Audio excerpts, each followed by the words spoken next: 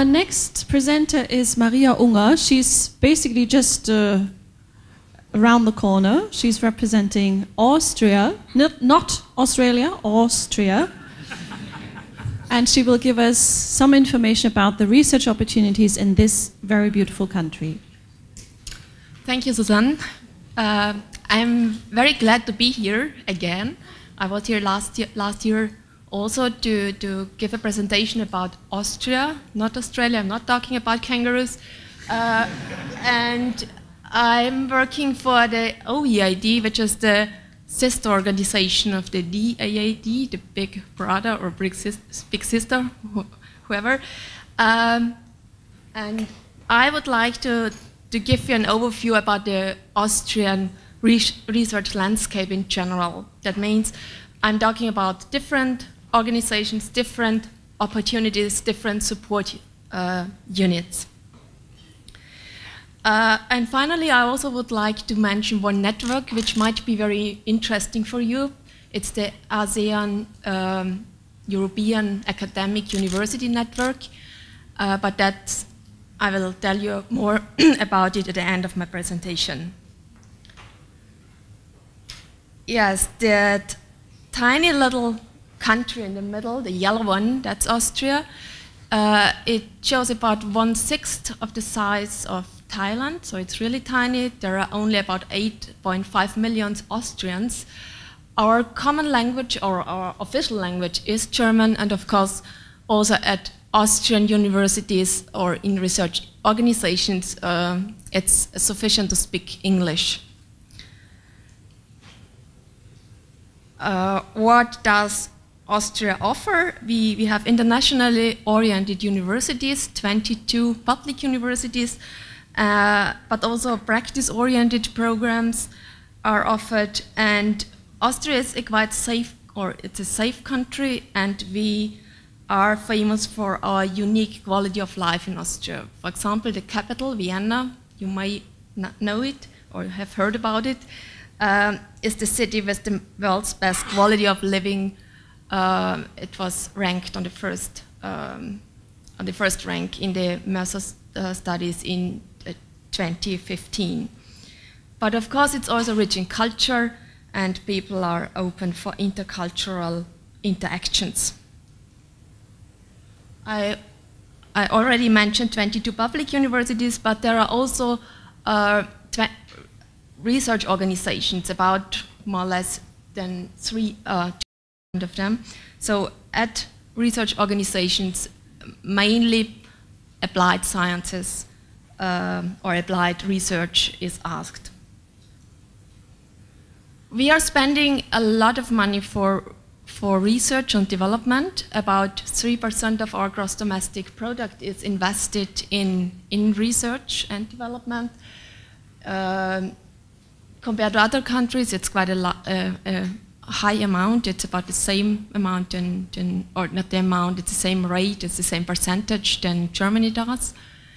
Of course, since the country is small, the total amount is, is much smaller, of course. And as uh, Mr. Dan and Andre this morning said, uh, we will give you one telephone number. I think that's really not not uh, not uh, possible, but I can give you one email or no one website. Yeah, one website which is euraxess.at we are one of those uh, members in Europe. Uh, we provide information about um, our systems. Uh, we also do uh, or give personal assistance to researchers. Uh, and you can find all that information, what, what, um, what, I'm talking about in my presentation, on the EURAXESS website in, in, uh, of the ASEAN website, but also you can find it here on this euraxess.at site. For instance, I don't want to repeat everything, but you can find funding information, job opportunities, of course, legal issues concerning taxation, social security, language courses, of course, also uh, tips and information about schooling, kindergarten in, in Austria. And I would like also to mention that there is one guide, which is the Researcher's Guide to Austria, where all that information is, is uh, is stored and you can easily uh, download it as a PDF. Uh, in that network, mainly two, uh, two organizations are involved. It's the OEAD and the FFG, but also all universities in Austria are member of the EURAXESS network. So they are service centers and they give you that information you need. The other organization I, I would like to mention here is the FFG, it's the Austrian Research Promotion Agency, because that's the, the uh, that's the organization you should contact if you are interested in applied research. They offer funding as well as um, supporting partnerships between universities, between large companies, between uh, SMEs, and they are also supporting internationalization. And in that, in that um, context, I would like to mention one program, it's the Beyond Europe program, because that uh, offers you the opportunity to, to collaborate with an Austrian company uh, and it supports you in doing some, some uh, closer cooperation for the future. So if you're interested in that, uh, you might have, or you should have heard about the program. Or if you would like to go to Austria and you are thinking about getting a, a grant for an interview in Austria, then you could apply for the uh, career grant or a relocation grant or, or the research promotion agency is also supporting dual career couples in Austria. The second organization I mentioned, the OEAD, uh, we are primarily dealing with students and researchers. We are, we are uh, managing different uh, funding programs, and we're also supporting and uh, yeah, supporting scholarship holders, but also international uh, researchers in Austria. And we promote um, uh, the general education uh, location Austria with different brochures and the website, but also that might be interesting for you with a database with, where all study programs are, uh, are uh, collected. So if you're interested in a special topic, for example, go to that web website and you can find those organizations who are dealing with that subject. The easiest way to find information about scholarships uh, would be to go to one place. It's the Scholarship and uh, Research Grant Database. It's, it's called grants.at. And there is all information stored about the different types. I don't want to go into detail, but you can select your uh, research career stage, your country of origin, uh, your subject, and you get a list, a selected list of those programs who would be, who would be or which would be uh, suitable for you. Just one example out of that, uh, it's the Lise Meitner program. It's also co-funded by the uh, European Union. Uh, you could stay with that program as a postdoc in Austria for one to two years. And finally, I would like to mention one that network, um, the ASEAN uh, European Academic University Network.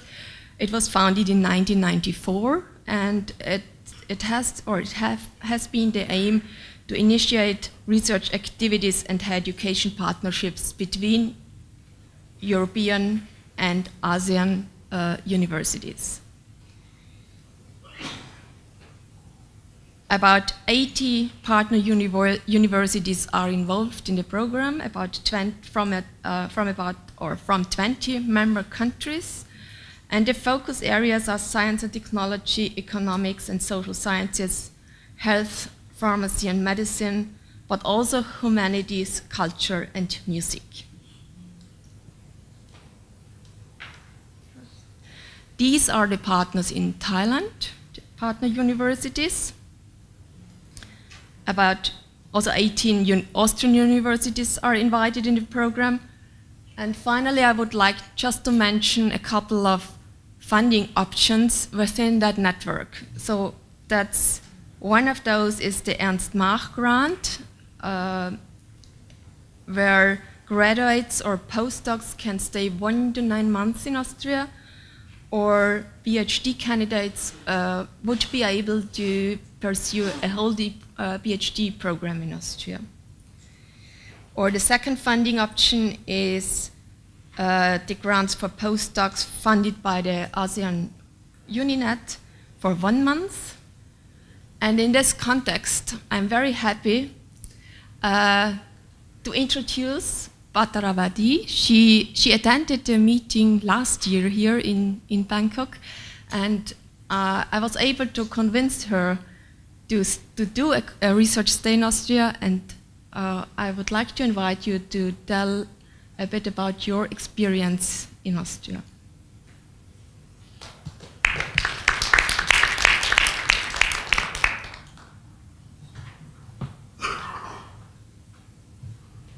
Okay. Uh, still good morning for everyone. I am Pataravadi from Kasetsart University. I will give just a short information and we can talk later at lunchtime maybe. Um, I actually met her and uh, participate in the activity of EURAXESS and Sawatoshore last year in another hotel close to Chao River because I was invited to give talk for former European students. I have been done my PhD in the Netherlands. And then I have inspiration to apply for the grant in Austria because they have a lot of grants that interesting. And the people that they are nice, they can speak English very well and they also speak German. So, but I have family and I have my work as a lecturer, so I can go only one month. But due to I prepare my research work very, I should say very well. So I did prepare and find the reference and I know what I want to do there. I contact the professor who's related in the same research area with uh, my professor at my PhD. So it's introduction, is the link, the connection between professor in Europe that give connection and sent me an email. So I contact first the professor and he said I should write proposal and see what I can do. The good thing there is they have a lot of nice, new, modern equipment that good for scientists. And we can do it really easy when you sit in the lab. You can just take the glass, the wire, and everything. The next day you can put your sample in the machine and then you get the result. So everything was easy, simple, and the teamwork was really great. So one month I actually success with my research.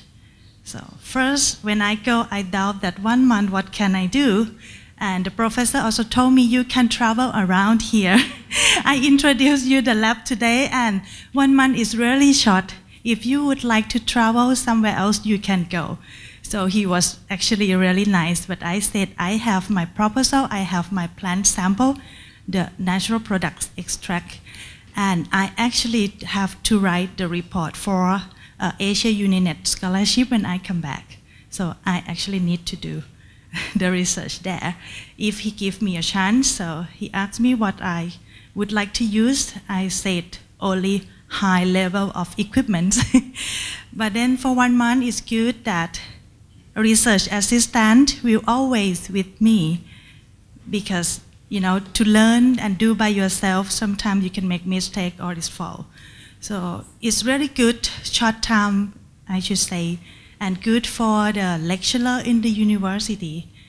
And it will be nice if I will have a chance to go there again because we talk about future research collaboration and this grant, Asia Uninet Scholarship between Thai and Austria, I can invite the professor or researcher from master until the professor to Thailand one to three months. Yeah, so I think it's, it's really good. And if we can keep going on and I can go back there sometimes or bring my student or their student exchange together, we will have a really nice result, I think. So thank you very much.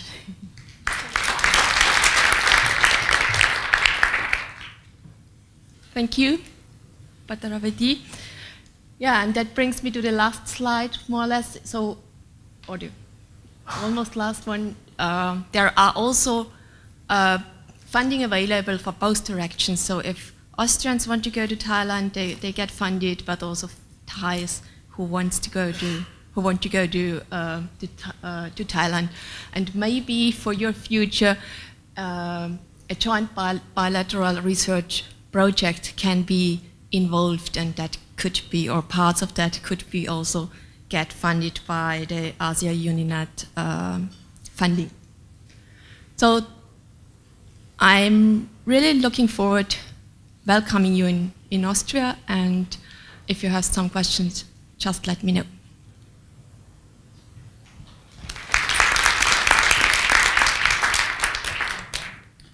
Thank you so much, Maria. Very interesting presentation.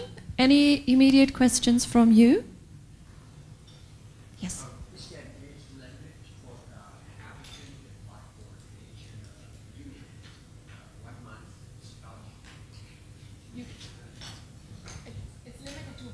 It's limited to one, that one, yeah. But for postdocs, it's also open up to nine months. So it depends. It, the Ernst Mach is open for, for age limit. Uh, the age, sorry, the, the, the duration.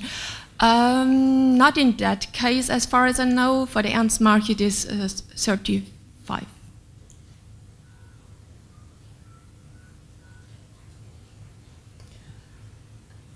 Any other question? Uh, there's one lady at the back.